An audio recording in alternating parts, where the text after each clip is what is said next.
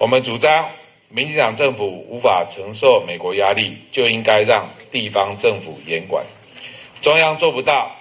地方来守护。上星期五，蔡英文总统粗暴突袭，在不愿意接受国会监督、不与地方政府沟通、不管产业冲击、不顾人民健康及没有社会共识的四不一没有的状况下，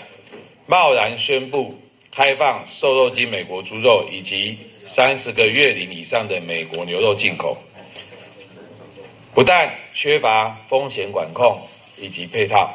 更未与社会大众进行沟通说明，以全民健康作为利益交换的代价，令人愤怒与失望。民进党说时空环境不同，事实是没有时空环境不同，只有换了位置，换了脑袋。非治疗疾病的动物用药一直都有争议，截至目前为止，欧盟仍然禁止禁止使用瘦肉精。